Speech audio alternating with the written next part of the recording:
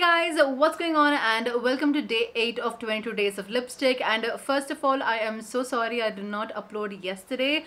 Uh, the reason is because this is the second time I'm filming this exact video the talking part of it because there was some kind of a static in the audio of my first video the first time that I filmed it.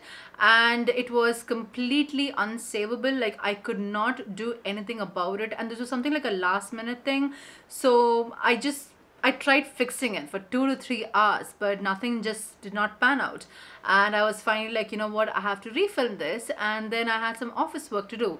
So yeah, that's why I'm so sorry I missed out on yesterday. But today onward, it is going to be on schedule and on time. But yeah, so coming back to today's video, I am going to be doing a lip swatch and a review of the Bella Voste Ulti Matte Liquid Lipstick.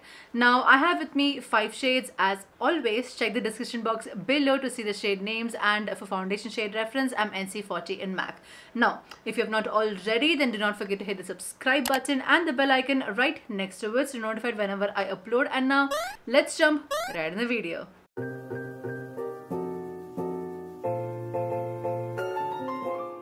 So first let's talk about the features of these liquid lipsticks. Now it says that it is a highly pigmented liquid matte lipstick enriched with vitamin E, features a silky, smooth and lightweight formula, stays comfortable on lips, delivers excellent coverage and color payoff, water resistant smudge and transfer proof formula. Now these are priced at 299 rupees for 3.7 ml of product and they offer a total of 18 shades. So it comes in this clear tube with a black cap and black writing. At the bottom you have the shade name and number. And this is how the doe foot applicator looks like which is a flat applicator. And now let's move on to the lip swatches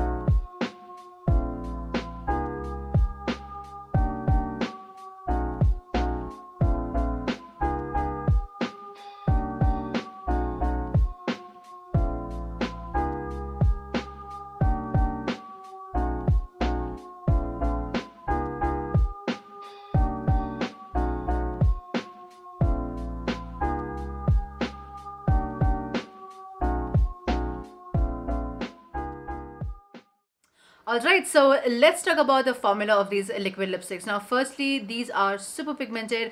Just one layer is more than sufficient to cover your whole lips. You do not have to go with a second layer at all, no matter how pigmented your lips are.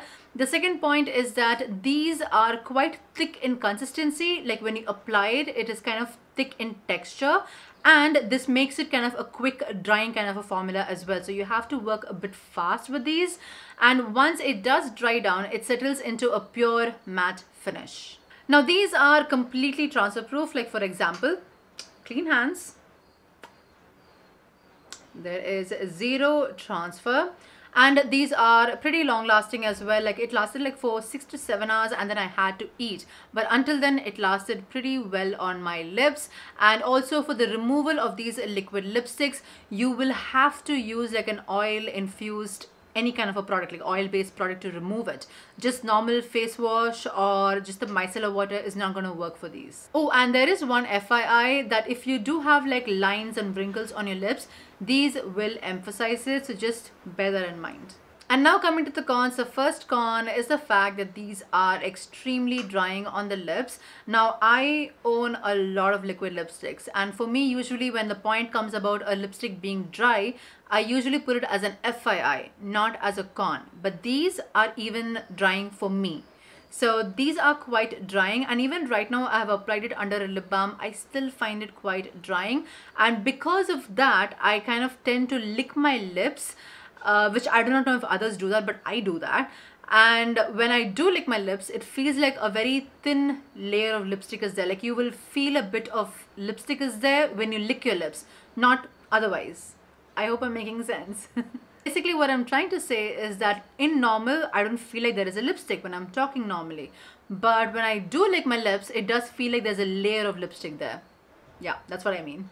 So the next con for me is how it looks like after having a heavy meal. So this is how it looks like. But then if I do rub my lips together to, you know, kind of get a sheer coverage of the lipstick, it starts becoming grainy and it starts disappearing as well as it looks very patchy at the end. So I don't like that. So that's kind of like a con for me. So overall, in my personal opinion, there will be only three reasons why I would buy these liquid lipsticks. Firstly is for the shades because they are beautiful. I love all the five shades that I've picked out. Number two will be for how long lasting and how transfer proof these are. And number three will be for the pricing because it's only 299 rupees for 3.7 ml of product, which is a great pricing. And if you do find it on a sale, that is amazing. So yeah, guys, these were my thoughts on the Bella Voste Ulti Matte Liquid Lipstick. And this wraps up today's video, you guys. I hope you all enjoyed it. If you did, not forget to hit the subscribe button and the bell icon right next to it to notified whenever I upload as well as like the video and comment down below if you have any questions or requests I will try my best for you as well as follow me on my socials which is itsnishanair on Instagram and itsnishanair on Twitter as well. So until the next time take care. Bye.